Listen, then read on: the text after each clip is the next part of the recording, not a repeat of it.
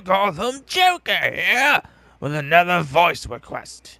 This time it's for I am not Jaidon Walker again, and he wants me to do the voice of the Dark Knight himself, Batman. So here it goes. You can't beat me, Joker. I'm Batman. You can't throw anything at me. You can't infect me with Titan. I'll just be a fool and inject myself and instead of all the citizens. Meh. Ooh, look at me, I'm Batman. Ba ba ba ba ba. Uh, Da da da da da da da Batman. Da da da.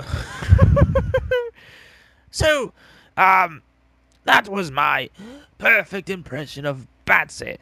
So if you have any impressions you want me to do, put it in the comment section below now.